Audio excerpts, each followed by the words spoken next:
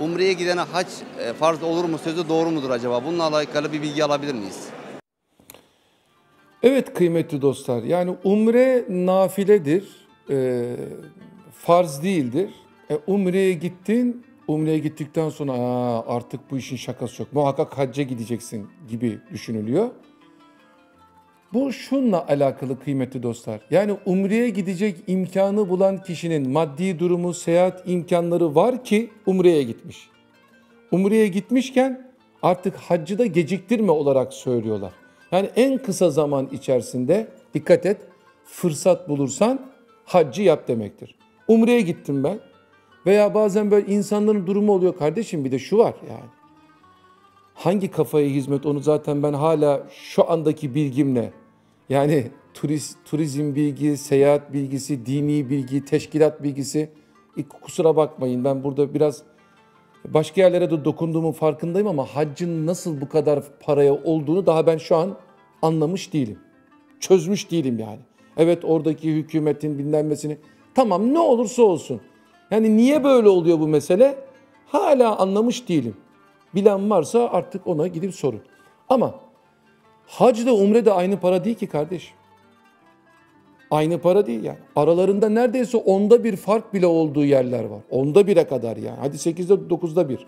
E şimdi ben şu kadar bir param var ya Kabe'yi görmek istiyorum kardeşim. Mekke'yi Medine'yi görmek istiyorum.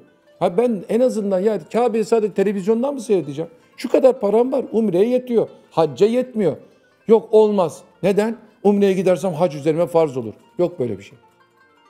Elindeki imkanla git. Hele hanımların çokça umre yapmasını teşvik ediyor Efendimiz sallallahu aleyhi ve sellem. Hanımların umresi onların cihadıdır buyuruyor. Maşallah bizim erkekler daha çok gidiyor halbuki. Gerçi hanımlar da şimdi gitmeye başladı. Çünkü onların aile hayatı, evlerindeki hayat o Mekke Medine aşısı aldıktan sonra daha farklı bir seyir içerisinde oluyor. Umre'ye imkan olan gider. Sonra geciktirmeden hacca git demektir o. Yani şunu yapma için söylenmiştir. Daha doğrusu şunu yapmaman için söylenmiştir. Ya ben zaten Umre'ye hacca işte bir gittim gördüm.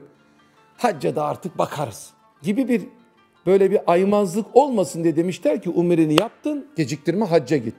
Ama umreni yaptın elinde imkanı yok. Eve girmişsin başka bir iş yapmışsın. Kurada çıkmamış. E ne yapacaksın şimdi? Kasap istihkakından adı böyle alengirli yollarla oradan bunu yapayım buradan bunu e, o kasabın hakkını aldın. Gittin orada hayvan mı keseceksin? Yok. E, hakka giriyorsun. Berber istihkakından gittin diyor. Saç kesiyor musun orada? Yok. E nasıl oluyor bu? Nasıl hac bu? Daha giderken ilk dakika gol bir. Böyle olmaz. Adam gibi gitmek lazım. Helalinden gitmek lazım. İmkan varsa gitmek lazım. Paran bol, imkanın var. Veya tanıdığın biri var götürüyor. E o zaman gidersin. İhmal etme demektir. Herkes her durumu müsait olan için aslında hacca gitme imkanın varsa git. Hac ömrü kurtarır. Ramazan seneyi kurtarır. Zekat senelik malının güzelliğini kurtarır. Namaz her saatini, her anını kurtarır. Buna dikkat et.